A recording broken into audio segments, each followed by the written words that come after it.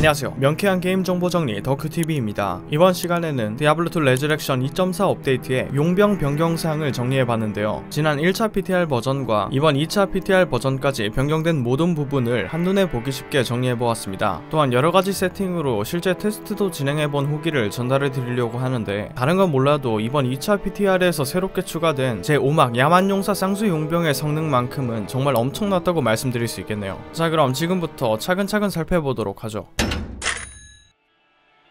먼저 전체 용병 공통 변경 사항입니다. 첫 번째로 용병 고용 시 용병의 레벨이 이제 일괄적으로 통일되었는데요. 기존엔 이렇게 고용할 수 있는 용병의 레벨이 들쑥날쑥했었지만 이제 모든 레벨이 동일하기 때문에 앞으로는 용병 고용 시 스킬 타입만 보고 간편하게 결정하시면 될 것 같습니다. 또한 이전에 낮은 난이도에서 고용한 용병이 높은 난이도의 용병보다 성능이 더 좋았었죠. 하지만 이젠 난이도별 용병의 능력치와 기술의 성능 차이도 없어져서 굳이 보통 난이도로 돌아가서 용병을 구할 필요가 없어졌습니다. 없어졌습니다. 또한 이와 더불어 이제 용병의 레벨이 낮아 기술을 사용할 수 없는 경우 UI에 표시가 된다고 하는데 지금 보시다시피 이렇게 직관적으로 아이콘이 표시되기 때문에 맨땅 진행 시 레벨에 딱 맞는 최적화된 용병을 선택할 수 있을 것 같네요. 어쨌든 전체적으로 편의성이 이전보다 상당히 많이 개선된 느낌입니다. 자 그리고 이제 각 용병들의 실질적인 변화를 살펴보려고 하는데 가장 먼저 1막의 자매단 궁수입니다. 일단 눈에 띄는 건 이제 자매단 용병이 아마존 전용 활도 사용할 수 있고 그와 더불어 아마존 기술 보너스도 받을 수 있게 되었다는 점인데요. 그간 보통은 용병 무기로 일반 활인 Great Bow나 Shadow Bow의 Runeword 신념을 제작했었지만 이젠 3스킬이 붙은 아마존 활인 Matriarchal Bow나 Grand Matron Bow 역시 용병용으로 활용할 수 있게 되었습니다. 특히 이번에 새로 추가된 Runeword인 안개를 활용하면 무려 용병에게도 6 스킬을 땡겨줄 수 있게 되었네요. 여기에 추가로 이제 자매단 궁수는 빙결 화살과 폭발 화살을 사용하여 광역 피해를 줄 수 있게 되었습니다. 지금 3스킬 Grand Matron에 안개를 제작해서 테스트를 해본 것인데 확실히 두 스킬 모두 원소활 스킬들이라 스킬 레벨이 오르니 보조 딜로서 성능은 제법 괜찮더라고요. 하지만 그래도 1대1로 보스를 때려잡을 만큼 드라마틱한 성능은 기대하기 어려우니 이건 어디까지나 캐릭터가 처리하기 어려운 면역 몬스터를 처리할 수 있는 보조 딜러 정도로만 생각하셔야 할 것 같습니다. 자 하지만 그래도 이제 Runeword 통찰이 활에도 제작이 가능해지면서 초중반 시기엔 이 자매단 궁수의 활용도가 예전보다 훨씬 올라간 느낌인데요. 특히 자매단 궁수의 특성상 몹들과 거리를 유지하며 전투를 하기 때문에 생존율만큼은 오히려 이막의 사막 용병보다 더 좋은 느낌이 들었습니다. 때문에 앞으로는 통찰 셔틀로 이 자매단 궁수를 더 많이 활용하게 되지 않을까 싶네요. 끝으로 내면의 시야를 비롯한 이 용병이 사용하는 스킬들에도 이번 아마존의 스킬 개선 사항이 그대로 적용되었습니다.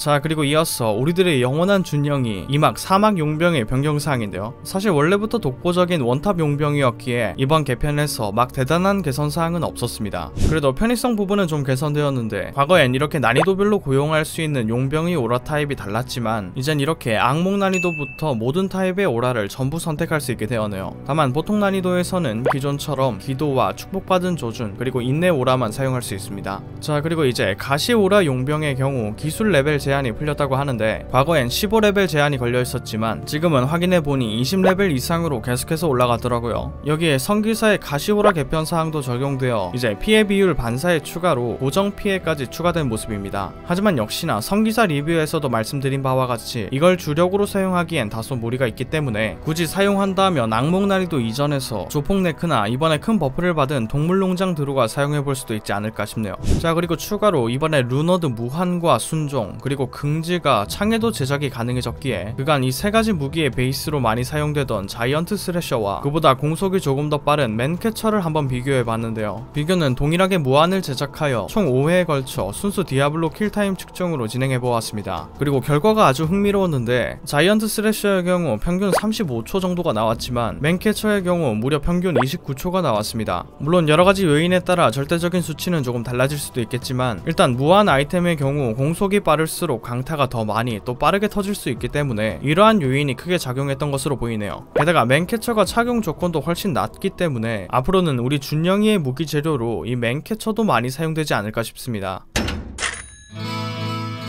자 그리고 이어서 제3막의 강철 늑대 단원 용병의 변화인데요. 한때는 얘들이 경비를 맡아서 디아3 때 칼데움이 망한 거다 라는 우스갯소리가 있을 정도로 기존 디아2에선 최약체 무쓸모 용병으로 불려서인지 이번 패치에서 정말 많은 부분이 개선되고 또 추가되었습니다. 우선 기본적인 능력치가 크게 개선되었는데 생명력과 방어력이 크게 증가하여 이제 자매단 궁수와 비슷한 수준이 되었으며 저항값도 크게 올라 이제 모든 용병 중 기본 저항이 가장 높습니다. 지금 아무것도 없는 상태에서도 거의 최대 저항에 근접하고 있는 모습이죠. 자 그리고 여기에 속성별로 새로운 스킬도 많이 추가되었는데요. 먼저 냉기 계열 용병의 경우 기존의 얼어붙은 갑옷 스킬이 냉기 갑옷 스킬로 교체되고 레벨당 수치 증가량도 제법 증가했습니다. 또한 빙하 가시 스킬의 경우 시전 빈도가 올라가고 스킬 레벨도 올라갔다고 하며 실제로 확인해보니 제법 큰 폭으로 좋아지긴 했더라고요. 그래서 템까지 맞춰주니 스킬 레벨은 제법 높긴 합니다. 하지만 단독으로는 여전히 잡몹도 제대로 처리하지 못하는 수준이었기에 사실상 냉기 타입은 여전히 잘 사용하지는 않을 것 같아요. 다음은 화염 계열입니다. 먼저 기존의 지옥불 스킬이 제거되고 화염탄 스킬이 추가되었으며 화염구 스킬의 빈도가 늘어났는데요. 덕분에 이제 이전보다는 훨씬 전투력이 상승한 모습입니다. 세팅만 좀 해주면 스킬 레벨도 제법 괜찮고요. 하지만 역시나 여전히 딜러로 활용하기엔 안타까운 수준이며 그나마 이번에 마법 부여 스킬이 추가되면서 소환 계열 클래스와 조합이 좋지 않을까 기대를 하셨을지도 모르겠지만 이건 역시 안타깝게도 이 마법 부여 스킬은 비전투 시에는 아예 사용 을 하지 않습니다. 그러니까 전투 중에만 공격 시 랜덤하게 마법 부여를 시전해주는 형태인데 문제는 이게 딱 원하는 개체에 시전해주지도 않아서 이미 걸린 녀석에게 몇 번이나 걸기도 하는 등 여러모로 참 아쉬운 기능이었습니다. 뭐 혹시나 개선이 되어 enchant가 걸리지 않는 개체만 딱 골라서 바로바로 걸어주면 나름 괜찮을 것 같기도 하지만 만약 이대로 패치가 적용된다면 역시나 이막 용병의 위세 aura보다는 효율이 크게 떨어질 것으로 보이네요. 다음은 번개 계열입니다. 만약 삼막 용병을 사용한다면 가장 추천드리는 게 바로 이 번개 계열이라고 할 수 있겠는데요. 가장 핵심적으로 이제 전자기장 스킬이 추가되었습니다. 이게 마법 부여 스킬과는 다르게 시전 시 범위 전체에 스킬이 적용되기 때문에 제법 유용한 느낌이 들었는데요. 게다가 스킬 레벨도 제법 높아서 적용 범위도 상당했으며 빈도 역시 괜찮아서 이게 은근히 자주 터졌습니다. 덕분에 원소술사가 아닌 다른 클래스의 경우 맨땅 진행, 특히 normal 난이도에서 이 번개 계열 용병이 제법 유용하게 사용될 수도 있지 않을까 싶네요. 여기에 추가로 이제 번개 줄기 스킬의 레벨과 번개 스킬의 빈도 도 올라가 기본적인 전투력 자체도 다른 속성의 용병보다는 훨씬 강한 느낌이 들었습니다. 아 그리고 참고로 신규 룬워드 역병과도 조합을 해봤는데 역병의 저항 감소 효과는 피격시 발동이라 이 용병에는 효율이 그다지 좋지 못했네요. 대신 검과 방패를 착용할 수 있기에 정의의 손길과 용 갑옷 그리고 꿈투구와 꿈방패를 활용한 용dream 세팅을 해주면 그래도 나름 static과 더불어 광역으로 양념을 잘 쳐줘서 높은 난이도에서도 제법 괜찮은 느낌이 들더라고요. 다만 성기사와는 다르게 시너지를 챙길 수는 없기 때문에 성기사의 그 용dream 세팅의 효율까지는 기대할 수 없겠습니다. 자 그리고 이번 용병 개편의 최대 수혜자인 야만용사 용병의 변화인데요. 먼저 생명력과 방어력이 증가하여 생존력이 크게 올랐으며 이제 장비로부터 야만용사 기술 보너스를 적용받게 되었습니다. 즉 이제 아리아스의 얼굴, Slayer Guard와 같은 야만용사 아이템을 적극 활용할 수 있게 된 것이죠. 여기에 추가로 이제 양손검 용병의 경우 기존의 강격 스킬과 기절 스킬의 레벨 제한이 풀려 기존 대비 성능이 제법 좋아졌습니다. 또한 보스에게도 적용이 되어 아주 유용한 전투의 함성 스킬이 추가되었는데 93레벨 기준 22레벨의 전투의 함성이 가능하여 전투 시 제법 큰 도움이 될 것으로 보이네요.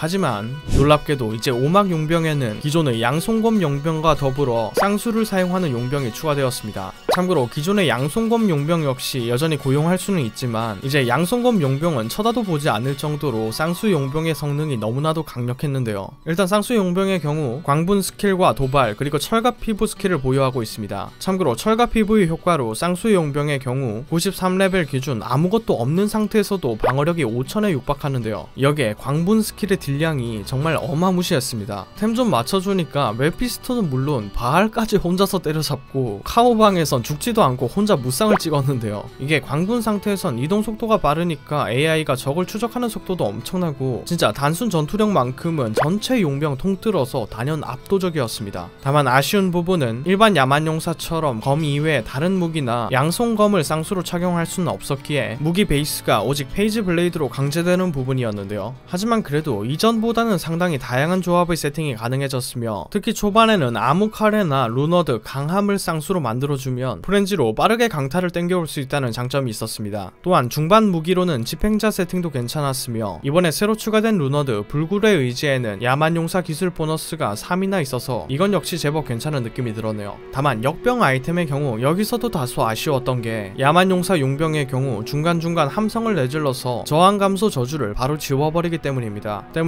중복이 허용되지 않는 근본적인 저주 시스템이 개선되지 않는 이상 이 역병 아이템은 계륵 같은 존재가 되지 않을까 싶네요. 어쨌든 그렇기 때문에 차라리 쌍수 용병은 다른 용병들처럼 유틸 성능을 기대하기보단 깡디를 극대화하는 것이 가장 효율적일 것으로 보이며 그러한 맥락에서 최종 빌드에는 역시나 슬픔이나 마지막 소원 같은 아이템이 좋았습니다. 여기에 추가로 갑옷의 경우 개인적으론 용 갑옷이 진짜 괜찮았던 게 이걸로 프렌지를 후려갈기니까 진짜 용병이 무슨 플레이어 같은 느낌이 들더라고요. 게다가 철갑 피부 스킬이 있기 때문에 막 다른 좋은 갑옷이 아니더라도 생존율이 상당했습니다. 그리고 진짜 한번 급발진하기 시작하면 맵 하나를 순식간에 초토화시켜 버리는데 솔직히 이 정도 성능이면 caster 계열의 경우 면역 몹은 이 쌍수 바바의 딜로도 충분히 정리할 수 있을 것으로 보이네요. 특히 이번에 크게 buff를 받은 피스틴의 경우 이제 악마와 undead는 fist로 처리하고 나머지는 쌍수 용병이 처리하는 식으로 build를 짜면 정말 괜찮지 않을까 싶습니다.